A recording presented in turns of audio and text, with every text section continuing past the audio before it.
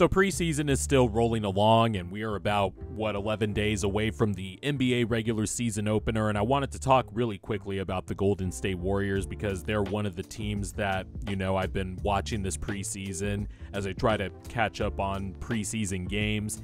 And I wanted to talk about the Chris Paul edition because I made a video back in the summer about Chris Paul making the Warriors a better team, and through two preseason games, the games in which Chris Paul played, which was against the Lakers each time, they didn't play their regular starters yesterday against the Kings, or they didn't play uh, Chris Paul and Steph Curry against the Kings. But I wanted to talk about the addition of Chris Paul because it seems like Chris Paul is fitting in really quickly, or at least he understands what the Warriors like to do, how they operate, and because Chris Paul is such a high IQ player, he is fitting in seamlessly. And there are some possessions where I'm like, oh, there are some things where the Warriors have to also adjust to Chris Paul that will also benefit them.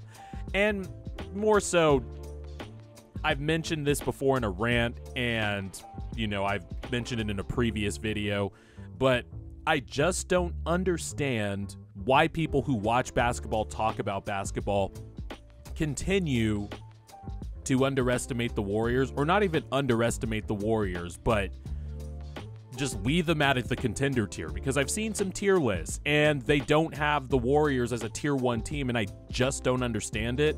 I don't understand how a core that has won four championships as most recently as 2022 isn't considered a contender.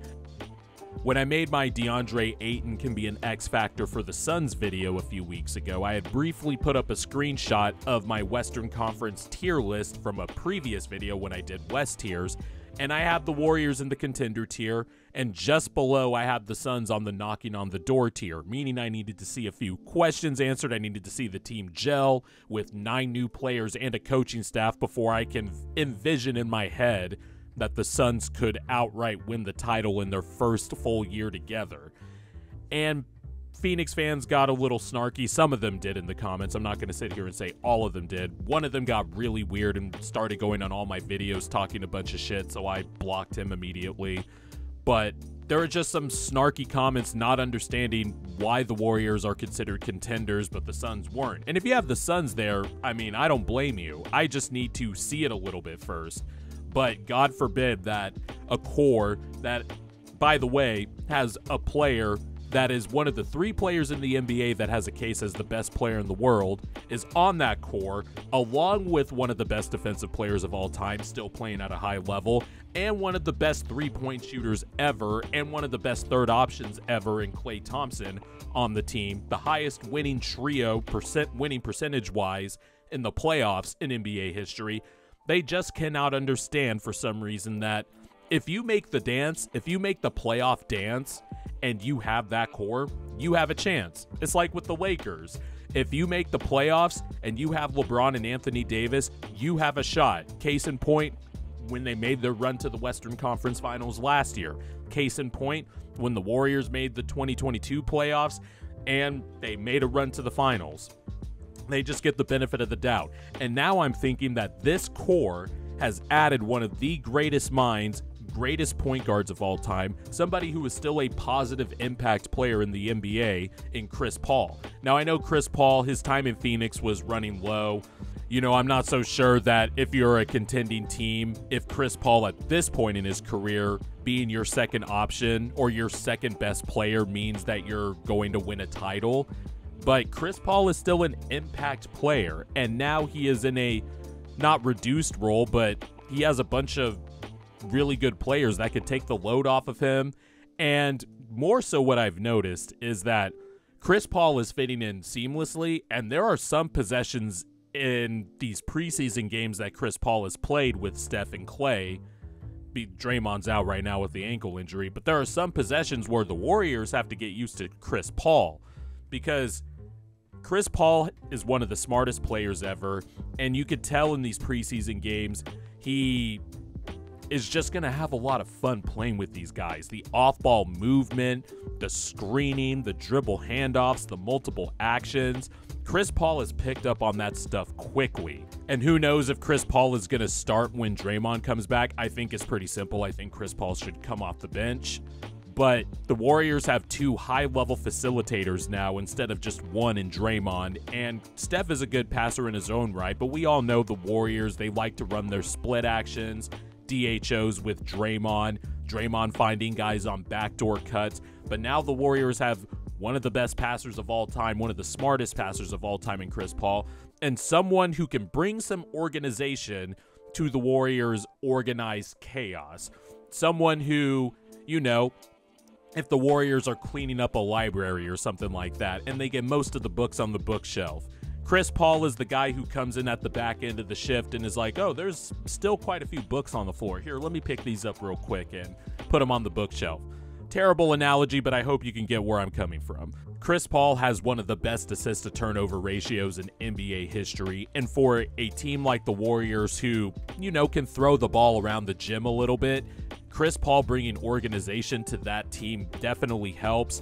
Stephen Clay running off ball while Chris Paul is just dissecting a defense. And not only that, there are just some passes in these preseason games where Chris Paul is throwing somebody open, putting the ball right on the money in the shooter pocket.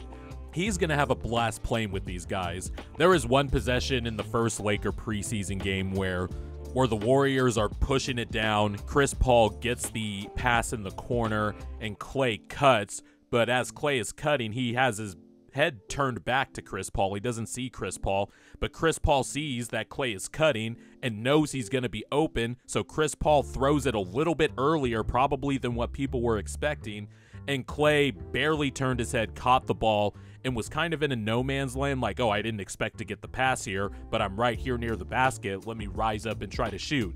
And Klay missed it, and the Warriors were a little out of sync there, but that's an example of how Chris Paul is picking up on what the Warriors like to do.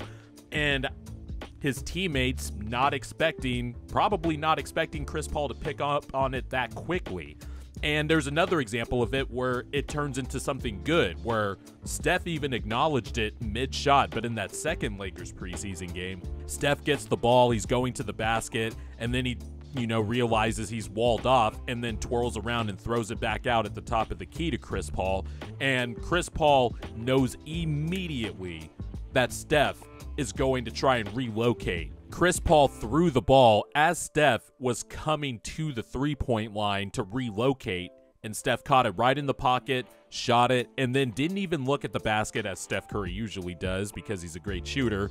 Looks at Chris Paul and points at him as if to say, Yes, that's how we do it. That is how we do it. Think about how many players have come through the Warrior system during the Steve Kerr era, whether it was D'Angelo Russell or a few others, and it doesn't take them quite as fast to pick up on how the Warriors play. Chris Paul picks up on it immediately. And not only that, Chris Paul has always been a good catch and shoot three point shooter. So when Warriors run off ball action or splits with Draymond, Chris Paul can chill in the corner and space the floor. And because there's so much spacing in these actions now for Chris Paul, he has time to load up and shoot. Kevon Looney, one of the best screeners. Draymond Green, one of the best screeners, can screen for Chris Paul and get him into his mid range game or dissect the defense, which, by the way, probably has a bunch of stuff going on around him in that pick and roll, so he could pick apart a defense. This, I really think this Chris Paul trade is going to be a boon for the Warriors. Definitely an upgrade over Jordan Poole in a lot of senses. And not just because, you know, Jordan Poole is young and talented and definitely helped on that Warriors title run. But Chris Paul just has 19 years of experience. He does the little stuff well. He's still a better defender than Jordan Poole. That's not even a debate. And Chris Paul just does all the winning stuff a little bit better. Also, Chris Paul is a willing screener. We'll see as the season goes on, but Chris Paul, you know, still is a pest on the block if someone someone bigger tries to post him up. But Chris Paul just brings a lot to this Warriors team. And if he comes off the bench, that bench is going to be so organized. When Draymond and Steph are off the floor, Chris Paul will finally, you know, be the answer kind of to what happens when both those guys are off the floor because Chris Paul can organize in a way that will just get them efficient points every time.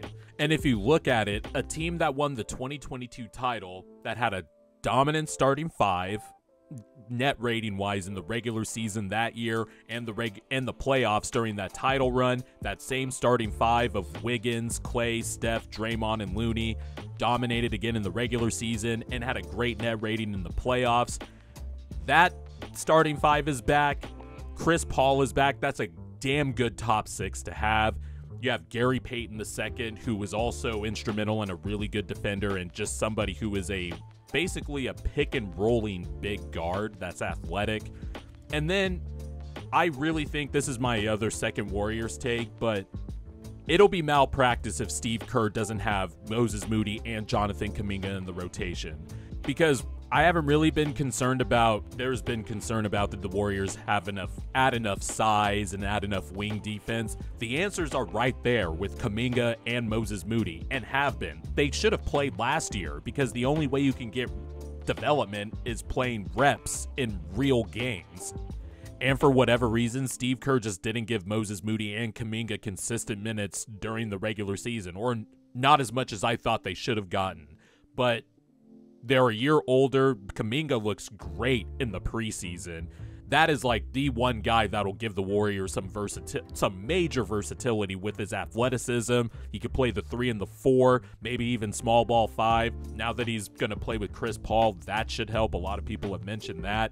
But I also like the Dario Saric pickup. That's another high IQ player, versatile four, five type of guy that can also pass and shoot.